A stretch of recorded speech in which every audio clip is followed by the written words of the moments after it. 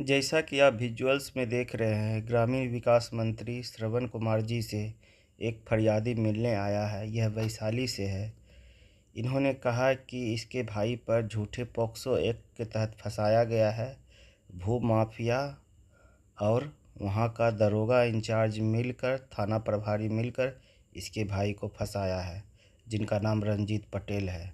इस विषय में मैंने रंजीत पटेल से बात किया है, आइए सुन इस ऑडियो को ध्यान से पर सुनिएगा। रंजीत पटेल ने क्या कुछ कहा है? उन्होंने बहुत सारे गंभीर इल्ज़ाम लगाए हैं थाना प्रभारी तो बताइए आपका क्या प्रॉब्लम है? सर मेरा नाम रंजीत कुमार पटेल है हुआ। मैं महुआ सिंगरा वैशाली ज़िले का निवासी हूँ। जी। मेरी बाज़ार में सर तीन चार कट्ठा के करीब ज़मीन है मेरी पुश्तैनी हम्म। तो उस ज़मीन पर हमारा आवास दुकान मकान रहन सहन सब है। हम्म। कागज़ पत्तर उसका करेंट रसीद उसका खतियान सब मेरे नाम पर दर्ज है। हम्म। मेरे ही ग्रामीण एक राजा राय नाम के लड़का है जो पहले शराब माफिया था। हम्म। हाँ राजा राय और गोपाल शाह कृष्णा जी दोनों मिलके आज दो वर्षों से मेरी ज़मीन को हर अपने गैर कानूनी कब्जा।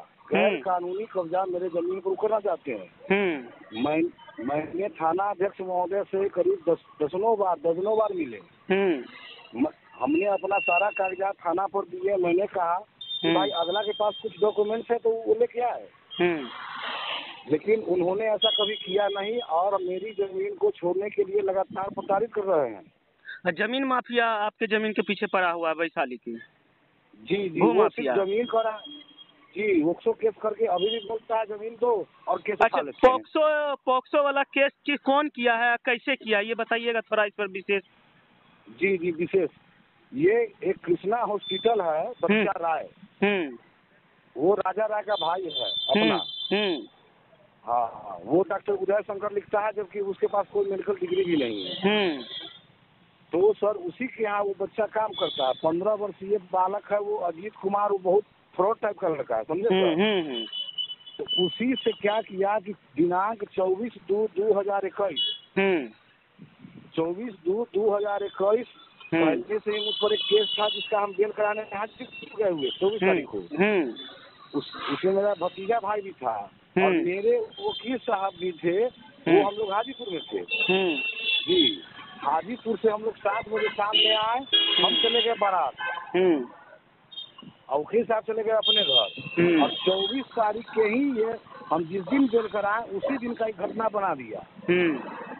और ये क्या किया कि डाक रजिस्ट्री मतलब बाय पोस्ट बाय पोस्ट भेजा गया है थाना में। जी जी जी। कम्प्लेन आपका। दिनांक जी उसका न, न फर्द बयान हुआ न चौसठ का बयान हुआ न मेडिकल पुलिस के सामने हुआ। मेडिकल जाँच भी नहीं हुआ क्योंकि मेडिकल जाँच में भी एक एडल्ट या उसका घर का गार्जियन का रहना ज़रूरी है। जी जी वो लड़का लिख के दे दिया कि मैंने जाँच नहीं कराया है क्योंकि डॉक्टर बाप मदारी को बुला रहा था। हम्म। तो मेडिकल हो जाता उसका तब तो क्लियर हो जाता सब चीज़।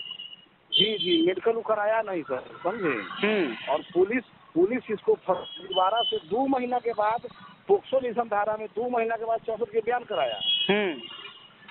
और हमने अपने स्थानीय लगातार मिला इस पर। तो। वो बोलती है जी पूनम केसरी जी टीएसपी बोलती है कि ज़मीन छोड़ दो केस उठा लेगा अच्छा आपका कुछ रिकॉर्डिंग है डीएसपी से बात करते हुए कुछ भी सर रिकॉर्डिंग तो नहीं है मेरे अधिवक्ता वकील साहब के पास था जब वो बोल रही थी हम्म। तीन सौ दो का क्लेम हमारे वकील साहब लगाए हुए थे हम्म जी आ उसमें क्या हुआ सर हम्म। इसके पिताजी पिताजी का भी बयान लड़का का नहीं हुआ उसमें? नहीं हुआ उसके फादर का भी नहीं हुआ है। नहीं फादर ने महुआ थाना में जाकर ही टिकट कराकर एसपी से लेकर कोर्ट में बयान किया कि हम्म। मेरा लड़का को पैसा दे के गलती केस करवा दिया है। हम्म। लेकिन पुलिस ने न उसका बयान लिया न उसका स्टेटमेंट रिकॉर्ड किया सुपरविजन में तो अभी यहाँ पे ग्रामीण विकास मंत्री श्रवण जी से मिले हैं आपके भाई आश्वासन मिला है इस पर सही से कार्रवाई होगा। अभी। एसपी को भी, भी फ़ोन लगाया गया।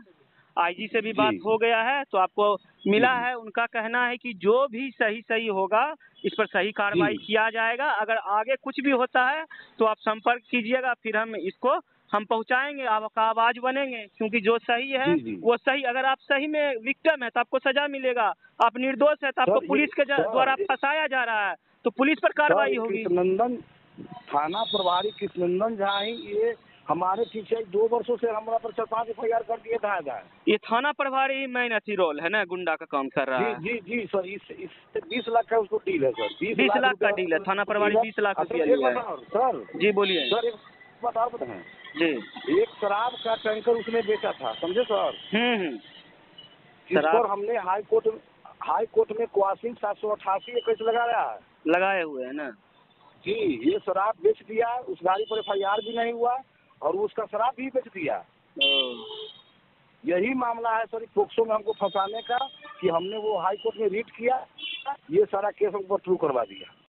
तो जैसा कि आपने सुना उनका कहना है कि थाना प्रभारी ने मेरे ज़मीन के लिए ज़मीन माफिया से मिलकर मुझे फंसाया है। ऐसे ही खबरों के लिए बने रहे हमारे साथ और आप देखते रहे देसी बिहार।